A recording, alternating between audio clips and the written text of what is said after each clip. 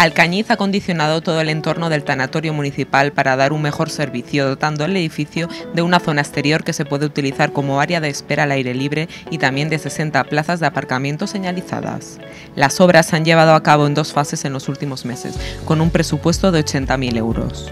En principio las obras han consistido en un acondicionamiento de lo que es el, entorno más cercano al edificio, como esta zona pues, donde podéis ver los, bancos, eh, el arbolado, eh, las papeleras, mejoras de iluminación y luego también toda la explanada ¿no? que se utilizaba, pues que había también zonas de barro y ahora la tenemos ya pues perfectamente asfaltada con su vegetación, su arbolado, el riego, la iluminación y ahora mismo pues bueno ya, ya tenemos un, un tanatorio pues en perfectas condiciones para dar el servicio. ¿no?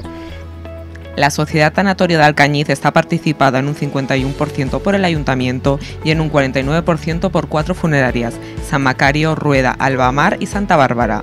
El edificio se inauguró en 2011 y realiza tanto velatorios como incineraciones.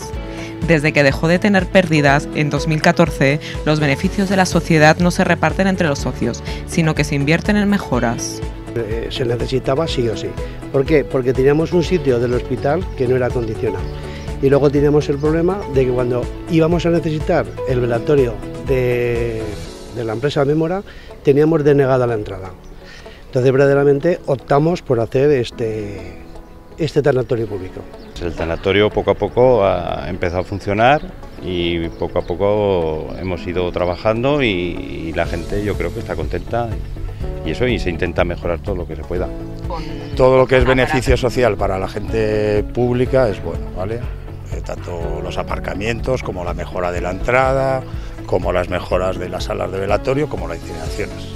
Ha sido un acierto por lo que han comentado anteriormente, Alcañiz se hubiera convertido en un monopolio, como ya prácticamente estaba, y el resto de familias hubieran tenido que pasar por las condiciones y las formalidades que les hubieran obligado la empresa que en ese momento estaba haciendo, digamos, el uso de sus instalaciones.